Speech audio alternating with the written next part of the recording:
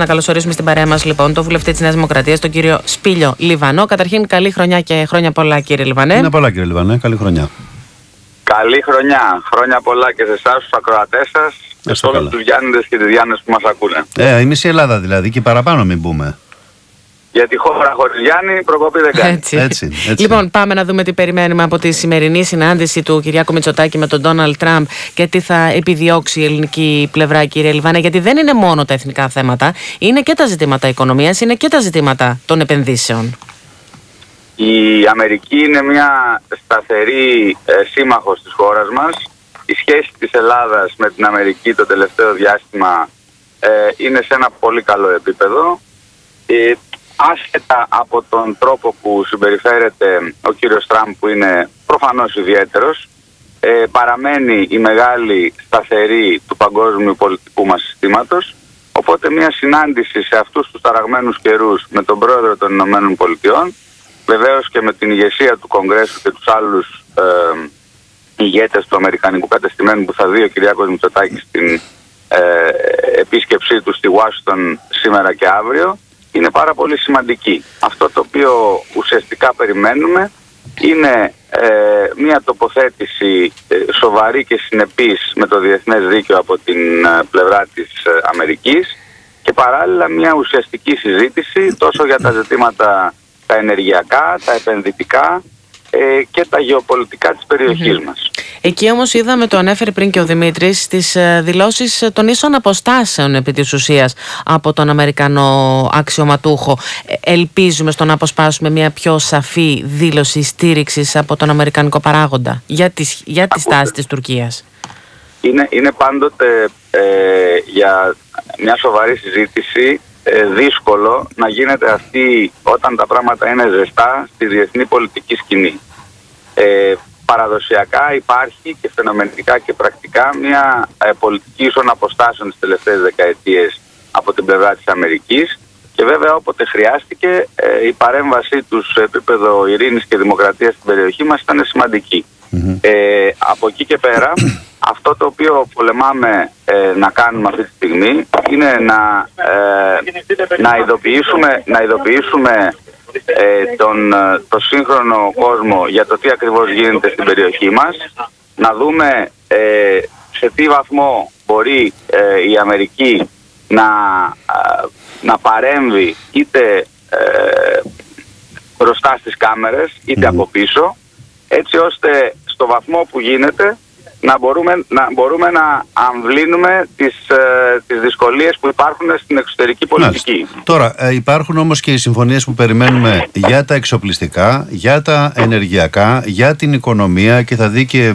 ε, μια σειρά επιχειρηματιών ο κ. Μητσοτάκης θα υπάρχουν και τέτοιες επαφές πολύ σημαντικές που περιμένουμε και για το θέμα των επενδύσεων. Τι προσδοκίες υπάρχουν λοιπόν για αυτούς τους τομείς; Η Ελλάδα, ε, και αυτό έχει γίνει σαφές και από τα νούμερα αλλά και από τις δηλώσεις, δηλώσεις όλων των ε, ε, Ευρωπαίων αλλά και των Αμερικανών fund managers έχει πει σε μια διαφορετική οικονομική ταχύτητα. Αυτό το οποίο ζούμε εμείς εδώ και το καταλαβαίνουμε ακόμα και στην αγορά μας, αν και είναι λίγο νωρίς για να φανούν οι αλλαγές στην οικονομία στην αγορά, πάντως το καταλαβαίνουμε και μια αισιοδοξία υπάρχει στην ελληνική αγορά αυτό το καταλαβαίνουν και οι ξένοι. Έτσι με μια συνέπεια ε, λόγων και έργων σε σχέση με τα όσα έλεγε προεκλογικά και όσα κάναμε το πρώτο εξάμεινο ως κυβέρνηση, ο Μητσοτάκης συνεχίζει αυτή την προσπάθεια να βάλει στο επίκεντρο του επενδυτικού ενδιαφέροντος την Ελλάδα. Αυτό ε, ε κάθε φορά που συναντάτε ο ίδιος ε, ή τα στελέχη του οικονομικού επιτελείου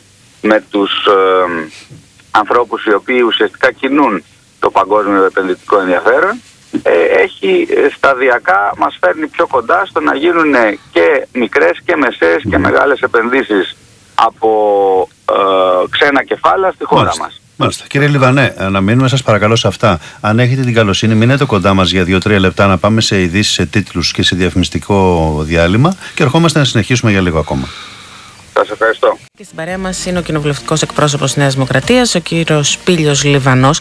Και να δούμε λίγο τώρα τι γίνεται και με τη συζήτηση για τον Πρόεδρο της Δημοκρατίας, για τον εκλογικό νόμο. Να δούμε λίγο και το χρονοδιάγραμμα, κύριε Λιβανέ, και να ξεκινήσουμε από τα του εκλογικού νόμου και τα χαρακτηριστικά αυτού. Ναι, η δική μας δεδομένη θέση είναι ότι ε, πρέπει να αλλάξει απλή αναλογική και ο λόγος αυτός δεν, έχει, δεν είναι ιδεολειπτικός, έχει να κάνει με την πρακτική της δημοκρατίας μας. Είδαμε μια μικρή της εφαρμογή στην τοπική αυτοδιοίκηση πως κινδύνευσε να ναι. διαλύσει ε, τους περισσότερους δήμους της χώρας. Άρα εμείς ε, ετοιμάζουμε και θα προτείνουμε ένα σύστημα το οποίο θα εμπεριέχει την αναλογικότητα η οποία έχει μια δημοκρατική βάση, δεν υπάρχει αμφιβολία. Από την άλλη μεριά όμως θα δίνει σταθερές κυβερνήσεις. Έχουν Συνένεση θα βρείτε εκεί κύριε Λιβάνε, τι λέτε, θα υπάρχουν κόμματα που θα συμφωνήσουν μαζί σας; Ε, η προσπάθεια για συνένεση είναι ε, συνεπής και διαρκής στο πλαίσιο της σκέψης του μητσοτακη Ήδη βλέπουμε ότι η πρόταση που ε, φαίνεται να ετοιμάζεται από την πλευρά του ε, Υπουργείου Εσωτερικών είναι στην, ε, στη γραμμή την οποία υποστηρίζει και η πλευρά του Κινάλ. Ναι, είστε κοντά υπάρχει, ναι. Υπάρχει μια διαφορά. Εμείς ουσιαστικά λέμε το, το ίδιο πράγμα ότι να, να υπάρχει από το αν κάποιο κόμμα πάρει από 25% και πάνω να μπορεί σταδιακά να αυξάνει τις έδρες του με ένα μπόνους. Mm-hmm. Ε, Πάντως το 200 ψήφοι δεν μπορεί να βρεθούν εδώ, είναι δύσκολο από ό,τι φαίνεται ως αδύνατον για να ισχύσει απευθείας. Εμείς θα το επιδιώξουμε και θεωρητικά ε, εάν ε, ο ΣΥΡΙΖΑ και ο κύριος Τσίπρας θέλουν να ε, γίνουν μια παράταξη κυβερνητική η οποία να έχει προοπτική στον χρόνο, θεωρητικά θα έπρεπε Κύριε Λιβανέ, είστε από αυτούς που εισηγούνται στον Πρωθυπουργό πρόορε εκλογές προκειμένου να κάψει ακριβώς αυτήν την απλή αναλογική; Όχι βέβαια. Νομίζω ότι αυτό έχει τελειώσει σαν θέμα. Ο Κυριάκος Μητσοτάκης αυτά είναι ε, συγκεκριμένος. Εμείς θέλουμε έναν, ε, έναν εκλογικό κύκλο να κλείσει τα τέσσερα χρόνια, ώστε και ο πολιτικός κύκλος να έχει δείξει τα αποτελέσματά του, γιατί κάποια στιγμή στη χώρα θα πρέπει η, η πολιτική η ίδια αλλά και η πολιτική μεΐτα να κρίνεται με βάση ε, όχι μόνο τις εξαγγελίες αλλά και τα αποτελέσματα. Εμείς λοιπόν θα κρυθούμε και η κυβέρνηση Μητσοτάκη και ο ίδιος θα κρυθούν στο τέλος της τετραετίας. Ε, αν ε, μέχρι τότε δεν έχει βρεθεί ε, το εκλογικό σύστημα για να αλλάξει με 200 ψήφους όπως είπατε πριν, θα πάμε πιθανότατα σε διπλές εκλογές διότι αυτό το... Σε διπλές αν δεν βγει η κυβέρνηση από την απλή αναλογική. Υπάρχει μια περίπτωση να έχουμε και σχηματισμό, το ξέρετε. Αυτό, αυτό πήγα να πω, ναι. ότι αν πάρουμε 51% εμείς, πιθανόν να βγάλουμε κυβέρνηση. Μόνο σε αυτή την περίπτωση λέτε, ε. ναι.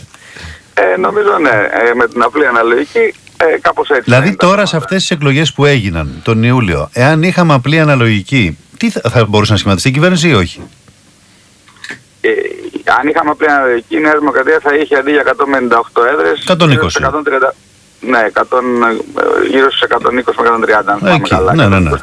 ναι. Αυτό, αυτό σημαίνει ότι θα έπρεπε να γίνει ε, μια προσπάθεια σχηματισμού κυβέρνησης με, με το περισσότερα κόμματα. Ναι, ναι, ναι. ναι. Κυρίως με το ΣΥΡΙΖΑ, γιατί με τους άλλους δεν θα έβγαινε το σκηνικό. Έτσι δεν είναι; δεν θα έβγαιναν και οι αριθμοί.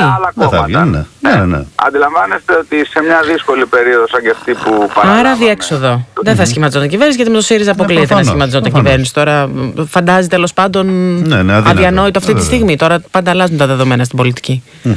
Σε κάθε περίπτωση, εμείς δεν βλέπουμε ε, καιροσκοπικά και μικροκομματικά το θέμα του εκλογικού Το πρώτο κόμμα, ακόμα και αν υπάρχει απλή αναλογική, το πρώτο κόμμα ε, είναι απαραίτητο να είναι στην κυβέρνηση. Πάει να πει δηλαδή ότι αν όπως φαίνεται τα πράγματα η Νέα Δημοκρατία θα είναι το πρώτο κόμμα σε επόμενες εκλογές, mm-hmm. χωρίς εμάς δεν θα μπορούσε να σχηματιστεί η κυβέρνηση και να έχουμε. Ναι, αλλά έχει σημασία με την απλή αναλογική. Πόσα κόμματα θα μπουν στην, στην, ε, στη Βουλή; Γιατί είναι και αυτό ένα θέμα. Το όριο παραμένει το 3, έτσι δεν είναι; Ούτως ή άλλως. Ε, παραμένει, αν και η προσωπική μου άποψη είναι ότι ε, σε μια μικρή χώρα σαν την Ελλάδα. Θα πρέπει να αυξηθεί το όριο.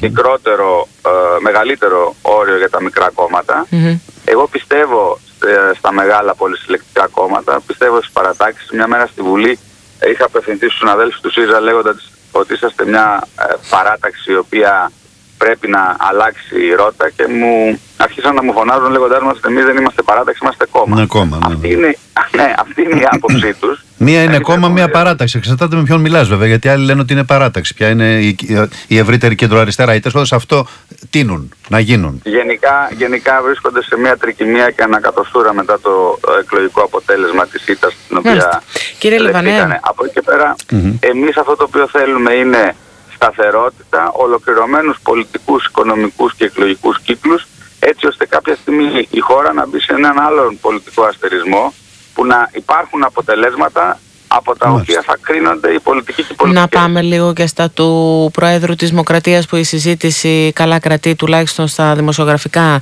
α, τραπέζια. Υπάρχει έντονο ενδιαφέρον. Τα χαρακτηριστικά νομίζω έχουμε φύγει πάντως από ένα μη πολιτικό πρόσωπο. Έχουμε φύγει για τα καλά νομίζω από αυτό το χαρακτηριστικό ή όχι; Ε, αυτό δεν μπορώ να το ξέρω εγώ. Ε, όπως ξέρετε είναι προνόμιο του Πρωθυπουργού. Ναι, ποια είναι η δική σας άποψη τέλος πάντων. Οι διαδικασίες δεν υπάρχει καμία αμφιβολία ότι ο όποιος ή όποια ε, αναδειχθεί σε πρόεδρο της Δημοκρατίας θα πρέπει ασφαλώς να έχει μια πολύ καλή γνώση των εθνικών θεμάτων, της οικονομίας, γιατί είναι ζητήματα τα οποία ε, προφανώς θα μας αφορούν στα επόμενα χρόνια, άρα πρέπει να έχει πολιτική κατάρτιση και γνωση Τώρα, το αν θα είναι ε, ένα πρόσωπο ε, άμεσα που να έχει το ίδιο πολιτευτή στο παρελθόν ή όχι, αυτό θα το ναι. δούμε και κατά τη γνώμη μου. Ο κ. Παυλόπουλος αποκλείεται πάντως από την. Ε, είναι μακριά από τις αποφάσεις του Πρωθυπουργού. Τι λέτε εσείς, ή από τι σκέψει τέλος πάντων.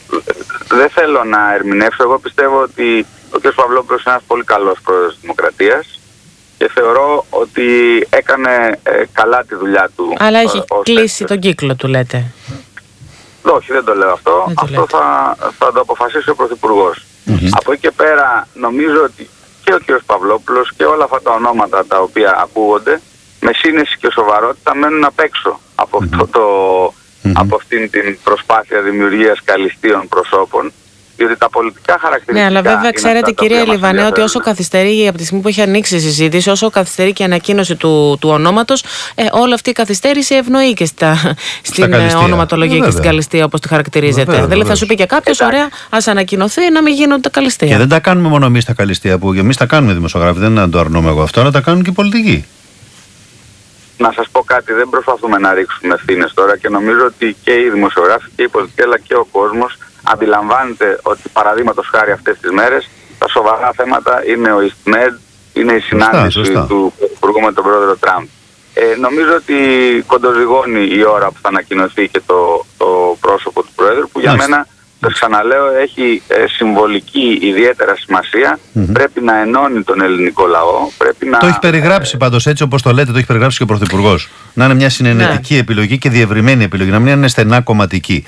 Δεν θέλει ο Πρωθυπουργός παρά την νομοθεσία και την αλλαγή του συντάγματος να πάει σε αυτό. Υπάρχουν ωστόσο και άλλοι, κύριε Λιβανέ και Δημήτρη, υπάρχουν ωστόσο και άλλοι κοντά στο, στον Πρωθυπουργό που του εισηγούνται να είναι και ένα πρόσωπο που να χαρακτηρίζει και τη Νέα Δημοκρατία. Ναι, δηλαδή σου λέει ότι δεν είναι απαραίτητο να συμφωνήσει και ο ΣΥΡΙΖΑ. Μπορεί να πάμε με έναν πρόεδρο που να μας εκφράζει εμάς. Αυτό που λέει η Εύα έχει δίκιο, κύριε Λιβανέ, διότι λέγεται, σου λέει ρε παιδί μου, εμείς είμαστε ολόκληρη ναι. παράταξη. 47% είχε κάποτε επί Κωνσταντίνου Μητσοτάκη αυτή η παράταξη. Δεν έχουμε έναν άνθρωπο να τον προτείνουμε, πρέπει να βρούμε κέντρο αριστερό.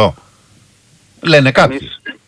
Εμείς, είμαστε μια παράταξη που στόχος μας είναι συνεχώς να διευρυνόμαστε, όπως λέει και η ιδρυτική μας διακρίση, αλλά όπως λέει και η λογική. Ναι. Έτσι, ε, Σου λέει ο άλλος τη συνένεση ότι... την πετύχαμε, για παράδειγμα, στον εκλογικό νόμο. Και αυτό θα είναι μια ιστορική επιτυχία ναι, για τους, mm. για τους απόδημους, ακριβώς.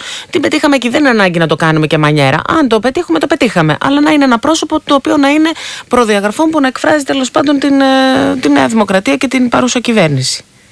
Μανιέρα όχι, αλλά η συνένεση είναι μια διαρκής προσπάθεια την οποία εμείς πιστεύουμε και ο πρόεδρος πιστεύει γιατί ακριβώς μια χώρα η οποία εξέρχεται μιας ε, μεγάλης κρίσης δεκαετούς διάρκειας με μπροστά της όλα αυτά τα ανοιχτά ζητήματα σε μια ιδιαίτερα έφλεκτη περιοχή ε, του κόσμου μας αντιλαμβάνεστε ότι το, το ζητούμενο της συνένεσης δεν είναι απλά ε, μανιέρα. Πράγματι, η Νέα Δημοκρατία έχει στελέχη τα οποία και ο κ. Καραμαλής και ο κ. Σαμαράς θα μπορούσαν να είναι mm. λαμπροί πρόεδροι της Δημοκρατίας, δεν υπάρχει αμφιβολία. Το θέμα είναι τι προσπαθείς να κάνεις μέσα από αυτήν. Τι μήνυμα ε, θα δώσεις, τι θα στείλεις. Ναι. Ακριβώς. Και νομίζω ότι το μήνυμα το οποίο πρέπει να δώσουμε είναι ένα ε, μήνυμα ευρύτερης ε, συνένεσης και κάλυψης μεγαλύτερου κομματιού της ελληνικής κοινωνίας. Δεν υπάρχει αμφιβολία ότι ε, όλοι μα έχουμε συνδεθεί με αυτά τα δύο πρόσωπα που ανέφερα πριν. Mm-hmm. Πολλοί από εμάς έχουν προσωπικές. Εντάξει, δύο πρώην πρωθυπουργοί ήταν τώρα, βέβαια. βέβαια φυσικά. Σας ευχαριστούμε πολύ, κύριε Λιβανέ.